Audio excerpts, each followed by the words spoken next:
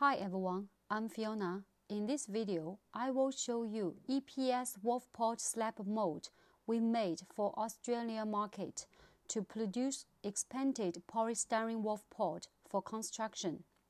This is female mold. The whole female mold is made by alloy aluminum to increase the mold stress. The mold cavity is made by cast aluminum. This waffle pod thickness is 300 mm, which is the most popular in the market.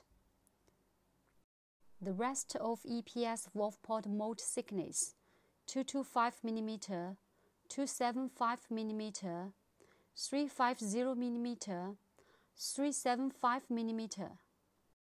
For more information about EPS waffle pod mold, leave your comments below or contact with us by email. If you like our video, please give us a like and subscribe to our channel. We would love to hear from you. See you next video.